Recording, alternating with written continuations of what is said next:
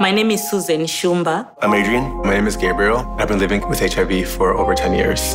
I just didn't know what was going to happen. There was a moment of panic, a bit of fear. Deep down, I was feeling like maybe I no longer have a future. I assumed I was going to die. I was told I was going to die.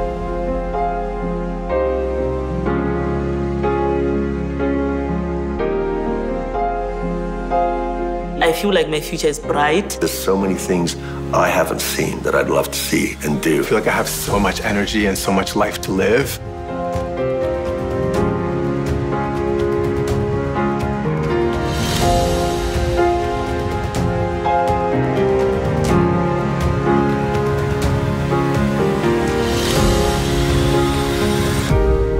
So we want to share something with you. Yo. Wow. Hey. That's awesome. Makes me feel good. A lot of optimism, a lot of hope. I love it.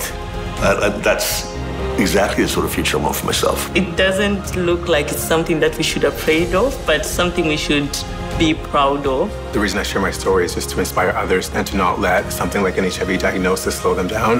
Getting older is a gift.